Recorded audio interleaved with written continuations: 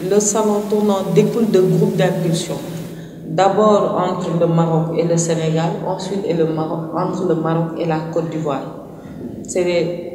Maintenant dans la perspective d'élargissement et d'inclusion que nous avons dit il serait préférable qu'on se mette tous les, tous les trois pays ensemble.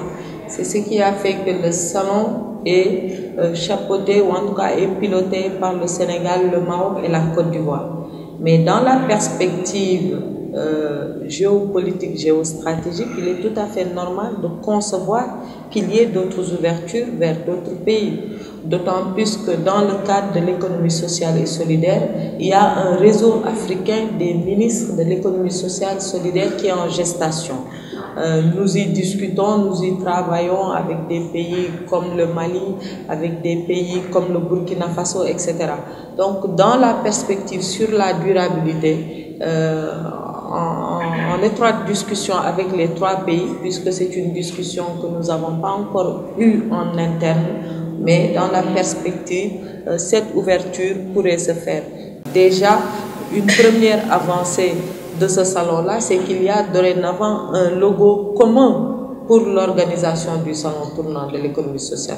Avant, euh, chacun mettait en exergue son logo. Sachez que pour l'organisation euh, globale euh, du salon, parmi les objectifs qui étaient attendus, quel que soit par ailleurs le budget qu'on qu y a consacré, c'était la mise en relation des acteurs. C'était l'ouverture vers de nouvelles, euh, de nouvelles possibilités, voir ce qui se fait ailleurs. Et pour ça, nous avons mobilisé les moyens qu'il fallait euh, dans le cadre de cette activité-là. Ce qu'il faut peut-être juste relever, c'est que le budget s'est constitué sur la base de sponsors que ce soit au niveau institutionnel, que ce soit au niveau des sponsors privés et euh, sur euh, la ligne budgétaire euh, consacrée, dédiée à la promotion de l'économie sociale solidaire au niveau du ministère. Maintenant, je pense que les éléments vous seront donnés une fois qu'on aura la synthèse de tous les éléments, mais c'est un budget composé de trois lignes. C'est la ligne sponsor, aussi bien sénégalaise que marocaine. En ce qui concerne l'articulation euh, qu'il nous faut avoir entre l'économie sociale solidaire, les banques classiques et la fintech, je pense que c'est une procédure qui est en cours. Euh, justement, c'est pour amener une alternative à la banque classique qui, quoi qu'on puisse dire, est réservée à une certaine catégorie spécifique, répondant à des critères spécifiques qu'on a impulsé le secteur de la microfinance au Sénégal. Depuis 1993, quand même, il y a eu de fortes avancées, que ce soit au niveau des grands réseaux avec le système financier décentralisé ou euh, les mutuelles qu'on a l'habitude d'appeler article hors 44. Et c'est heureux que j'ai présenté aussi bien le directeur du fonds d'impulsion que le directeur de la microfinance qui, dans leurs missions respectives, ratissent large autour des différentes spécificités que vous avez dans euh, le cadre des besoins en accompagnement ou en financement de nos compatriotes.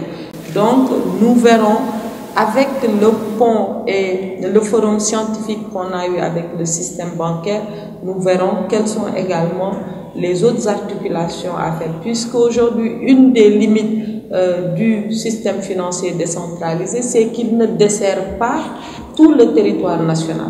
Nous sommes allés en tournée à Sédhiou, vous pouvez y voir quelques points de service, mais dans des endroits très reculés, l'accès demeure encore euh, limité. Et justement, la FinTech est une des réponses à cette situation-là, parce que c'est une limite que le téléphone peut régler facilement.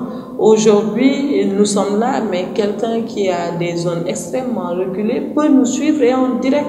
Ça veut dire qu'on peut utiliser cette technologie-là pour autre chose.